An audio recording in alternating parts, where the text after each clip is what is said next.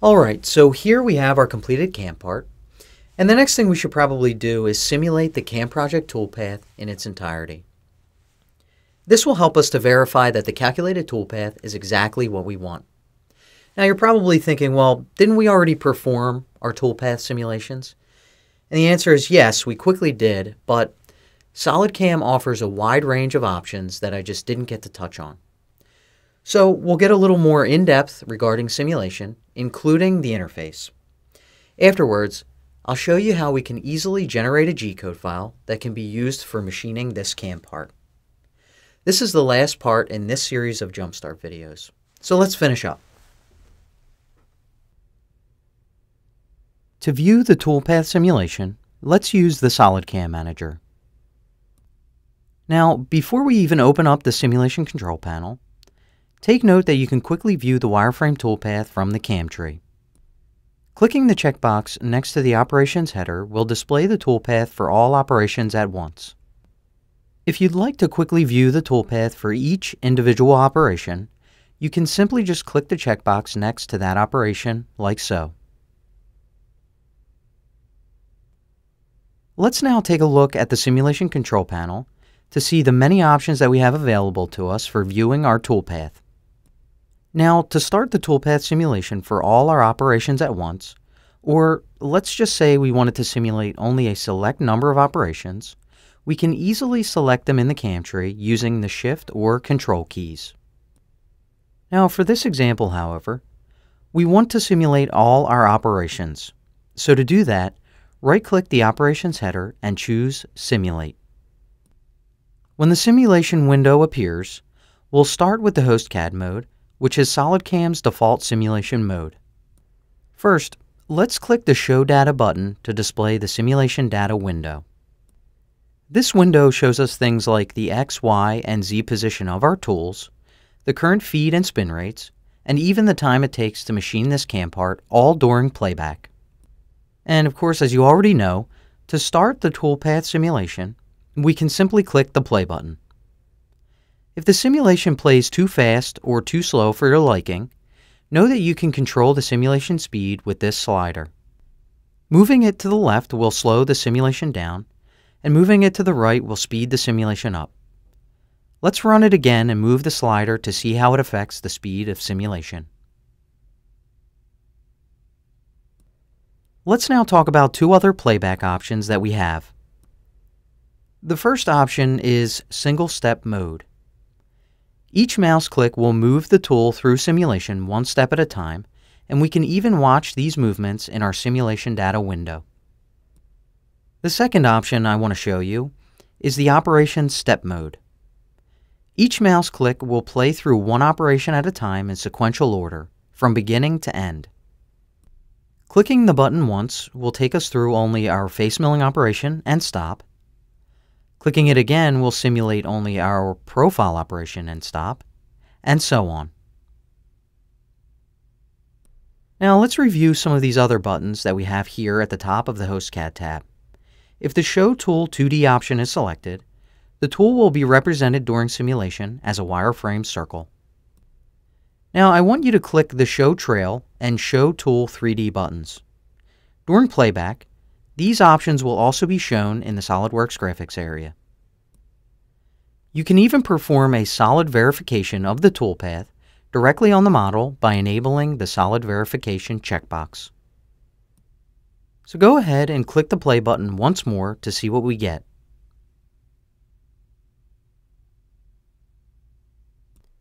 So as you can see, we have some pretty powerful toolpath simulation options at your fingertips just in the HostCAD mode alone. One more thing you may want to do is change the toolpath colors, depending on your preferences. That can easily be done by clicking the Colors button. Let's leave the defaults for now and just click Cancel. The next SolidCAM simulation mode we'll use is Solid Verify. This is another popularly used mode that enables us to see the cutting tool as it moves through the solid stock material. During this machining simulation process, SolidCAM subtracts the tool movements, using solid Boolean operations, from a solid model of the defined stock. The remaining machine stock is a solid model that can be dynamically zoomed, moved, or rotated. It can also be compared to the target model. Now let's say that we're satisfied with our face milling and drilling operations. And now we just want to take another look at our profile and pocket operations. Well, we can simply just click those operations in the CAM tree. First, we can click the Operation Step Mode button to simulate only the profile operation. Note that the part model gets automatically updated according to the selected operations, and any operations shown up to that point are a single color. Now, let's use the Single Step Mode button to watch the tool perform the helical entry into the pocket. After that, let's click Play to finish out the simulation. Let's take a look at one more button in our simulation control panel called Stop on Next. This option gives us control over where we would like our simulation to pause during playback. So, for example, let's enable the Tool Change option. Let's also highlight the operations header in the SolidCAM Manager so we are once again running through our simulation in its entirety. When we click Play now, we'll see that the simulation will begin playing and then pause after the first operation. This is because our profile operation switches to Tool 2. Click Play again and watch the simulation play through our second and third operations, and then pause. This is because our profile and pocket operations both use the same tool, Tool 2. Our drilling operation then uses Tool 3. Let's click play one last time to finish running through our simulation. Now that we're familiar with our toolpath simulation options, let's exit the simulation control panel and then generate G-code in preparation for machining our part. To output G-code for our entire CAM project, right-click the operations header in the SolidCAM Manager and choose the Generate command from the G-code All submenu. Our G-code is generated based on the parameters of the CNC machine controller that we chose in the CAM part definition. This G-code file opens in Notepad for us to view before it goes out to the machine. Note that the file name automatically defaults to our CAM part name, SC Simple Cover. Let's close the Notepad file. Now, what if we wanted to generate G-code for a specific operation? We can do that by simply right-clicking that operation in the CAM tree and choosing Generate from the G-code submenu. Since we only selected one operation, we are prompted to give our G-code file a name in case we want to save it. The file name automatically defaults to the operation name. Go ahead and click OK. As we can see, our generated G-code opens again in Notepad, although this time it's only for the selected operation. Now we also have the option to enter a split in our program before we output G-code, in the instance that we're working with multiple setups.